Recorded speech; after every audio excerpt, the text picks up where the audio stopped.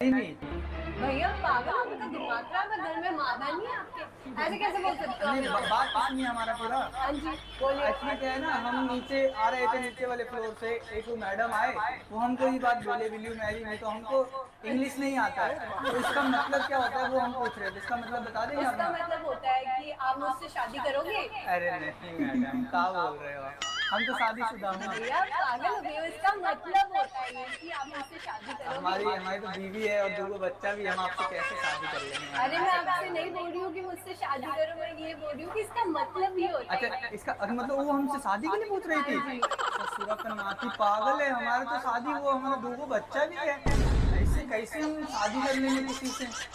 हमारी बीवी है इतना अच्छा सुंदर बीबी है हमारा दो छोटा छोटा बच्चा है इतना इतना। इतना प्यारा सा बताओ ऐसे थोड़ी हम किसी से शादी कर लेंगे? हाँ जी भैया तो उसको बोलनी चाहिए थी ना वो शायरी याद आ गया हमें हमारा बीबी का याद आते ही। कहें तो सुनाए। ठीक है तो अर्ज़ किया है साथ कीजिए तनिक। अच्छा, अर्ज़ किया है बड़ी बड़ी दुनिया छोटे छोटे रास्ते। बड़ी बड़ी दुनिया छोटे छोटे रास्ते हम तो बस जी रहे हैं अपनी बीवी के रास्ते अच्छा लगा ना। हम तो बस अपनी बीवी के लिए जी रहे हैं, हमें और किसी लड़की की तरफ़ हम देखते भी नहीं है। तो बस आपसे पूछना था तो आपको